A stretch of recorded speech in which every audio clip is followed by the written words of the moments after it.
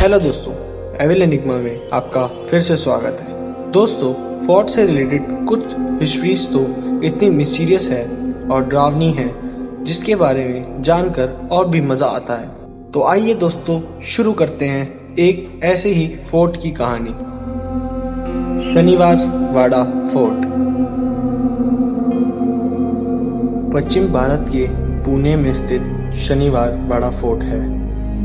ये सबसे हॉन्टेड जगहों में से एक माना जाता है। यूँ तो ये एक आम किले जैसा लगता है, पर यहाँ पर पूर्णिमा की रात को कुछ ऐसा होता है जिसकी कल्पना कोई भी नहीं कर सकता। पूर्णिमा की रात को यहाँ कुछ ऐसी डरावनी घटनाएँ होती हैं, जिन्हें देखकर इस किले की फौलाद जैसी दीवारें भी काँप उठती है। ऐसा बताया जाता है कि पूर्णिमा की रात यहाँ की सबसे डरावनी रात होती है, क्योंकि उस रात पूरा शनिवार वाड़ा फोर्ट। एक नवयुवक की चीखों और चिल्लाने की आवाजों से गूंज उठता है। ये आवाज़ें इतनी डरावनी और इतनी तेज होती है कि जिन्होंने भी इसका अनुभव किया है, वो लोग शनिवार वाड़ा के नाम से ही टहल जाते हैं। तो आइए दोस्तों, जानते हैं कि क्या है इन चीज़ों का रहस्य।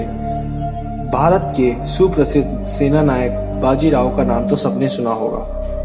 बाजीराव ने सन 1732 में इस किले को बनवाया था।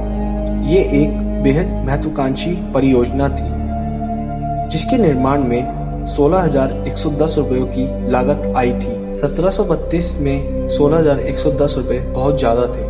बाजीराव और उनके बेटे बालाजी राव की मृत्यु के बाद सबसे छोटे पोते नारायण राव ने शासन की गद्दी संभाल ली और उन्हें पेशवा बना दिया गया। लेकिन राज्य का कार्यभार नारायण राव के चाचा रघुनाथ राव संभाला करते थे। 30 अगस्त 1773 में 16 साल के नारायण राव की हत्या कर दी गई। नारायण राव की मृत्यु एक आम बात नहीं थी। उसके पीछे एक बहुत गहरा षड्यंत्र रचा गया था। जब नारायण राव हत्या को भाग कर पूरे किले में इधर उधर भाग रहे थे, तब वह ज़ोर ज़ोर से यह चिल्ला रहे थे काका माला बचावा मतलब चाचा मुझे बचा लो। लेकिन उस रात कोई भी उनकी जान नहीं बचा सका।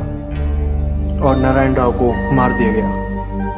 कई इतिहासकारों का दावा है कि नारायण राव की मृत्यु उनके चाचा ने ही करवाई थी।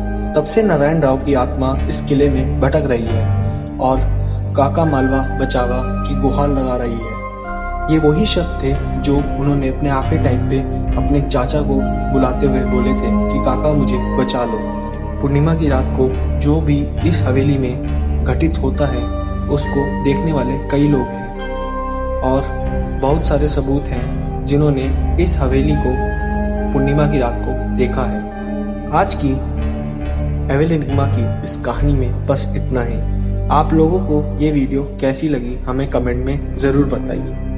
और भी मिस्टीरियस वीडियोस के लिए हमें सब्सक्राइब करें और बेल आइकन दबाएँ ताकि आपको नोटिफिकेशन मिल सके हमारी वीडियोस की सबसे पहले।